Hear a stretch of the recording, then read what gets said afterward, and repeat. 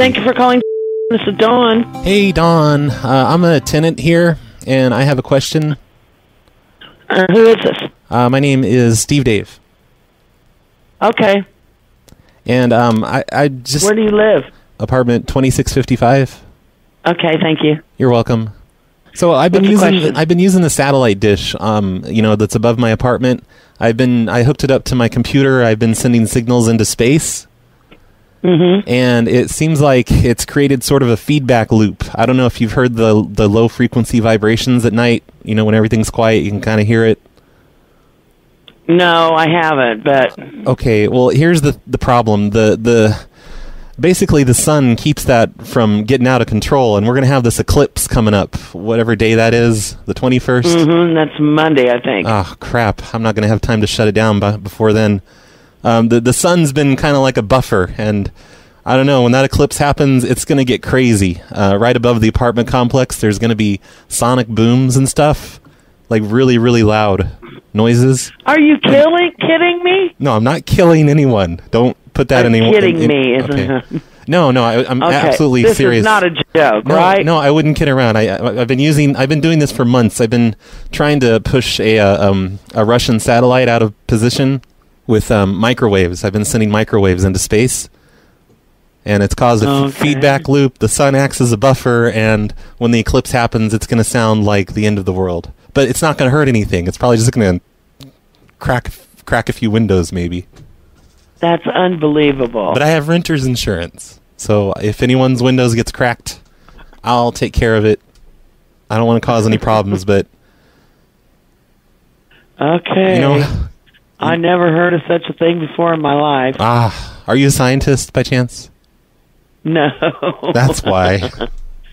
See, yeah, but I definitely watch all kinds of stations. You know, I'm always in the know, Oh trying yeah. to learn yeah. stuff. Well, this know? wouldn't be in the news. This is pretty much cutting edge technology, using Okay. microwaves to uh, propel. I I was trying to knock the the satellite out of orbit. I thought it'd be funny because you know they're the Russians. But Yeah. it's created a feedback loop. It's coming straight back toward the complex. Uh, when you're like, do you live here at the complex? No, I don't. Okay, I was gonna say like if you know anyone that lives here, tell them like when it's really quiet at night, just to listen for those low frequency hums. That's that's the feedback loop building up until Monday. Wow. Okay, and so on Monday it's going to knock everything out, huh? Yeah, well, no, no, it's not going to knock anything out. It's just going to make these sonic booms happen repeatedly over the apartment complex. They're going to think like Okay. aliens are invading or something, but it's nothing like that. Okay. It's just, just normal science stuff. All right. Well, maybe you should tell the police so that they don't somebody don't call the police Nah, department. fuck the police. You know, Huh? I said fuck the police. You know. Yeah, but if the people think somebody's shooting out here, they're going to send a bunch of people Oh here. no, no, it's that's not going to be a problem because this isn't going to sound like gunshots. This is going to sound Oh. more like the end of the world. Oh, great.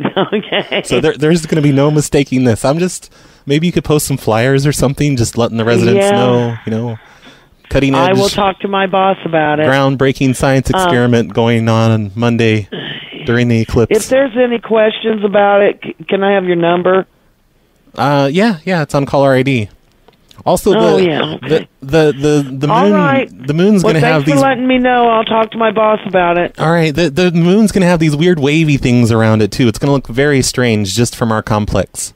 So maybe you guys can cash in on that, get some tourism over here. I'm serious. It's gonna look weird. I, I know you're serious. I just okay. you're gonna be able to see sound. You're gonna be able to see the sonic booms. wow. Yeah, yeah. This the, this apartment I think I'm going complex. to be up here on Monday night. yeah, you should be. I mean, it's gonna be crazy. Okay. I mean, Uh, and you said your name was Steve, right? yep. Steve, Dave, Okay, Steve Davis. uh, Dave, just Dave. Okay. I prefer the short shortened All right. version. Okay, I got to go. I got people in the office. All right. Yeah, you gotta go take a cigarette break. I get it. Oh no, I don't smoke. I quit smoking. I can tell. You're sounding good. Oh, I'm so glad I quit smoking. Oh, but you know, I'm- I have a whole bunch of reverb in this phone. I'm proud of you. Yeah, I hear static No. on my end, But you know that that could, yeah, uh, I have everything I say comes back at me. Oh, you know what? That's probably the uh, part of the feedback loop. It's the electromagnetic waves interfering with the phone lines. It'll happen probably, and it'll just kind of stop on Monday after the eclipse. Okay. So the phones will be back to normal by then. Well, so will the internet. Okay. All right. Well, thank you for calling. You're welcome. Uh, have a nice day. You too. Goodbye.